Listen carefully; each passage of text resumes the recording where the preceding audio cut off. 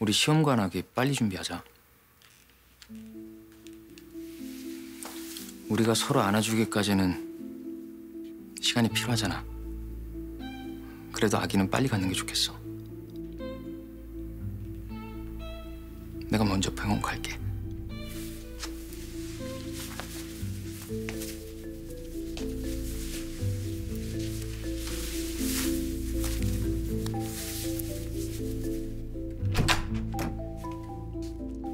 엄마, 저 할아버지 모시고 출근해요.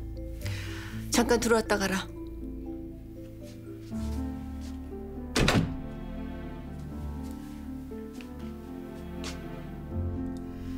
모연이랑 다시 시작하는 중이라고 했지?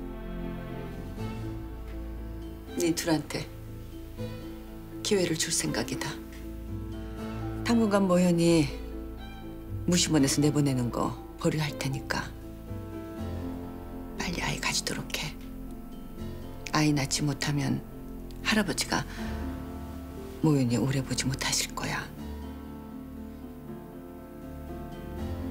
왜? 엄마, 이제 참견 좀 그만하세요. 아이를 지금 낳든 좀 더 있다가 낳든 우리 둘이 알아서 할게요. 엄마 아들 그런 거 정도는 알아서 할 나이 됐어요. 엄마가 모연 씨 봐준다고 무심원에 있게 하고 안 된다고 나가게 하고 우리가 유치원생도 아니고 엄마 충분히 오랫동안 엄마 마음대로 하셨잖아요. 이제 제 마음대로 좀 하고 살게요.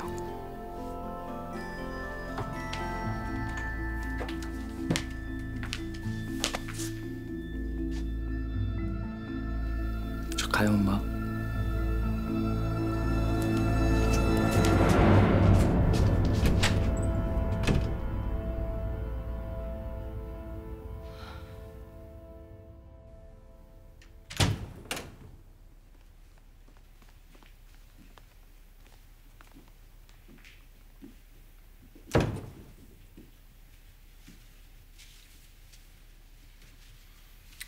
저 치우라.